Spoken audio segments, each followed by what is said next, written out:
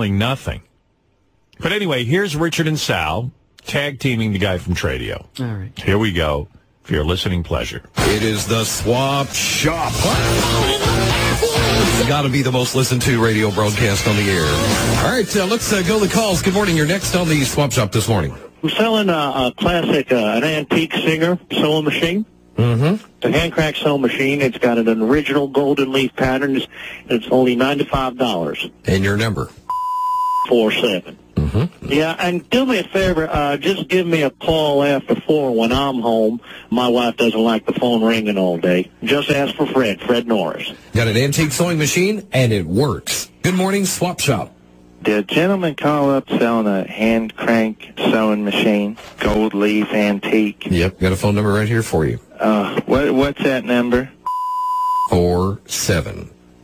Uh, it figures. That's my number. That's my sewing machine, and he shouldn't have been selling it. That was my husband. You're selling stolen goods on your show. I don't know if you realize that or not. Well, let me tell you something, mister. I'm not selling nothing. It's you and your friend that's selling the product, and, and don't be accusing me of selling nothing. Thank you very much. That person not going to jump on me like that. I didn't sell nothing.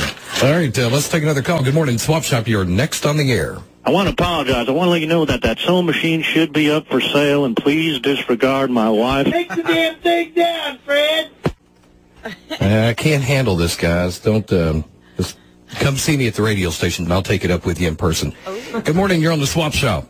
Hey, good morning. Listen up here, son. You keep that son of a bitch and sewing machine up there no matter what my wife says. You hear? Hey, buddy, you ain't gonna call me. If you got a problem, call me after the program. Good morning. You're on the Swap Shop. Hi. Are you gonna apologize to me, sir? You were pretty nasty on the radio to me, uh, my with my husband trying to sell my sewing machine. You know what? If you got an issue with me, why don't you come out here and visit me at? I'll meet you in person. How's that? Well, it sounds. It sounds like that if I catch you calling, selling hey, let me tell you something, mister. If you call me again, I'm not selling nothing. I put the guy on the air to sell the sewing machine. Let me take my glasses off just a minute.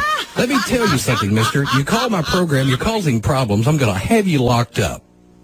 This, I'm. This is his wife. I'm. Uh, one thing you need to apologize about is calling me Mister.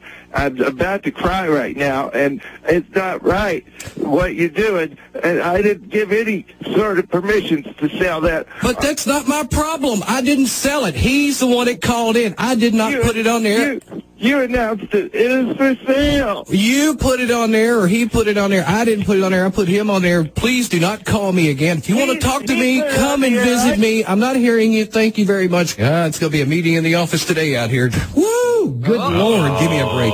Hi, you're on the swap shop. Uh, you- You're so. Yeah, let's try this one here. Hi, you're on the swap shop. Keep that sewing machine. Don't you listen to my wife? Okay, folks, we're going to have a staff meeting right here in the station. All right, with with with with, with my uh, crew present this morning as uh, my witnesses. Now, do do do you guys think I need to apologize? Now, here, now, no, no, wait, wait, wait. If you guys feel like I need to make an apology on the air for anything that happened during today's program, speak or forever hold your peace. GM's, let's hear it.